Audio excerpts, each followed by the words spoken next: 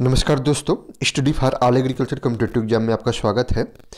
UP CATET entrance exam 2020 की जो भी स्टूडेंट तैयारी कर रहे हैं, उनसे रिलेटेड ये न्यूज़ है।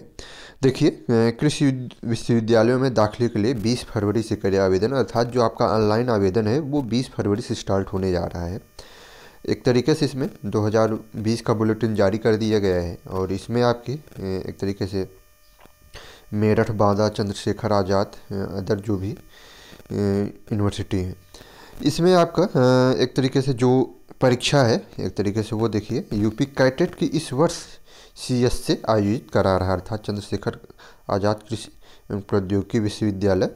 तो वो आपका UP CATET entrance exam 2020 conduct कराया गया। परीक्षा की ऑनलाइन एक तरीके से फॉर्म फिलअप डेट 20 फरवरी है और लास्ट डेट जो हो जाएगी वो हमारी 31 मार्च तक रहेगा। तो ये चीज़ें इसमें दी गई हैं। और इसमें देखिए, ये एक चीज़ ये भी है कि परीक्षा शुल्क में किसी भी प्रकार की बढ़ोतरी नहीं की गई अर्थात जो प्रीवियस ईयर का हमारा फ़ीस था, इंट्रेंस फ़ीस, वही सेम है।